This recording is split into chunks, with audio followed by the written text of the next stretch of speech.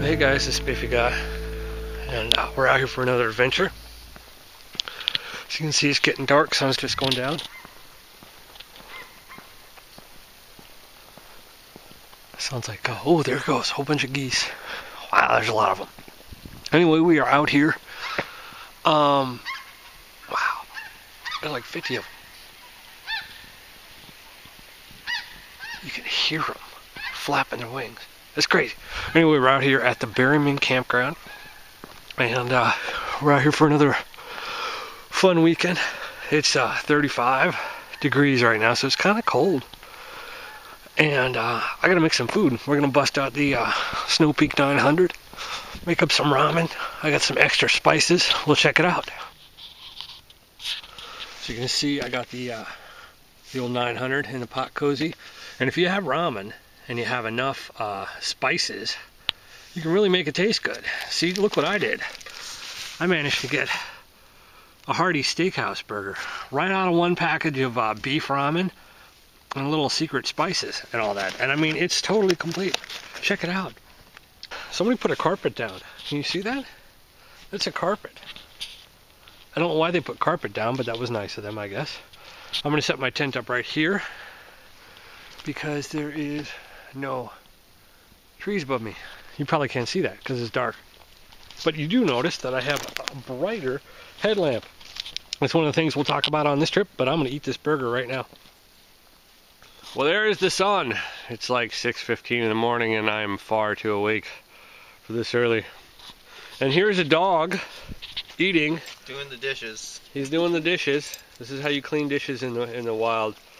This Tank, XC the bearded one. And uh, studies have shown that um, videos get more thumbs up when you put dogs in them. So we brought Tank along. Wonder Dog. All right, so I took my tent down already. I'm organized. This is the uh, Tarptent Rain Shadow 2, which is apparently a three-person tent. This is like a garage, essentially. I don't know if you guys can see that. Held up by two trekking poles in the front. You can use one. And uh, it's got the, uh, the double lines on each corner to stake out the bathtub floor. And this little section right here is the door. This has got like a little mitten clip and a Prusik knot and it comes down, kind of gives you your rain protection. You got mesh all the way around the edges, which is pretty cool for ventilation. And then one big little hoop in the back. And then uh, the three guy lines come out to a single stake. You got a lot of mesh in there. That's pretty wild. Uh, he's got a, a little Tyvek uh, footprint that he made, or I guess bought for it. And uh, lots of room in there. This thing uh, weighs about, I think he's, it was at 40, 40 ounces? Something like 40 ounces with the stakes and the uh, the pole, and that's about how much the double rainbow weighs. And this thing is just monster garage, monster garage. It's made by Tarptent. You can go to tarptent.com.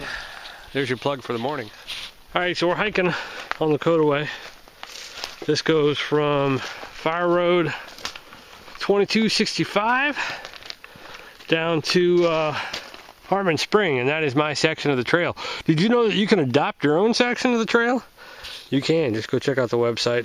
But you can see I have invasive species on my trail. Yes, trail is nice and wide, and unfortunately that attracts the uh, the ATV crowd. There's no ATVing on this trail, folks. You can bring a horse. I'll be okay with that. But they've been here recently, I'm sure. We might even run into some. It's unfortunate. So XC's here. The dog is just going crazy. He's got a whole pack full of ramen. He's a, he's, his dummy load is ramen noodles, which works out well. And XC, he's uh, he's got a custom made pack, not really, but it's built for an umbrella. You know you're a through hiker when you have a chrome dome umbrella. He's gonna carry that on the PCT. Check this out, look. Oh, oh he's running. Trying to run. Full range of motion and everything. Dakine pack. I think it's designed for a shovel. So there you go. The water's frozen, dog. Tank says his pack is too heavy. That's why we do these training hikes, Tank, to make sure our load is is properly oriented so we don't overload ourselves on a long hike. Like say a 200 mile one. You can do it. Those 14 packs of ramen. All right. Throw your fit. See ya. Bye. Come on, buddy. Let's go. Let's go. Oh, he's totally stuck.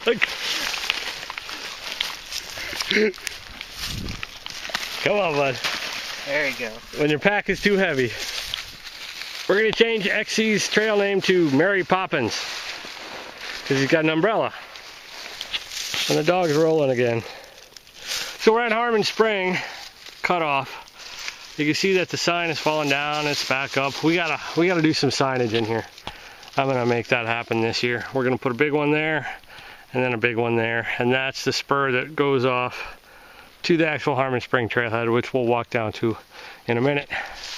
But we got to get uh, some good signage here because this is where people come. They come running. They see that sign over there. They don't probably don't see that sign up here, and they go that.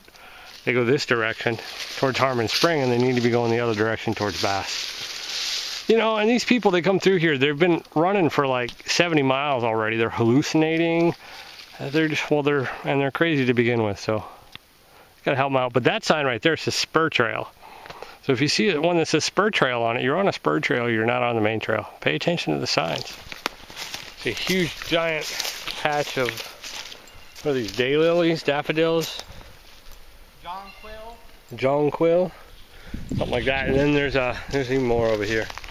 And then back there, there's a concrete structure like a, uh, like a spring house or something we're thinking. Um, I'd go back there, but there's stickers and I don't like you guys that much. Just kidding. I love you guys. You guys are the best. You sit and listen to me ramble about absolutely nothing. Somebody died here. Back, uh, I was back on when we put the Berryman sign in. We came across a dead carcass uh, in this area as well on the way through, so. But, so we, the trail is pretty well cleared we, we had to go through here and clear all this stuff out. There's a lot of brush. Not really. So this tree, in my opinion, is uh, obstructing the trail and it needs to move. And I bought a bow saw, so I want to cut something. There you go. Less than, I don't know, 30 seconds that saw chewed through that tree. That's a Bahco 24 inch with a drywood blade. That's the number 51 blade, in case you're wondering. Now I gotta move this off the trail. Well, we made it to the Harmon Springs trailhead. And as you can see, it's wet. It's always wet. This is a big concern, is getting up this big hump with the car and bottoming out through this little creek. But you could, you could, you can, you could, you could. That's Swedish. You could park over there. There's a little space off the road and then you can kind of go up that tiny hill a little bit. You could probably park the car there. And I think uh, up at the top of the hill that direction is a, uh, little hunter's camp. And then uh, you could park up there too and then just walk down the hill. Uh, the trailhead has plenty of parking. The, the issue is getting to it. If you got a four-wheel drive or like a pickup truck or something like that, you're gonna have clearance and won't have an issue. There's plenty of water around.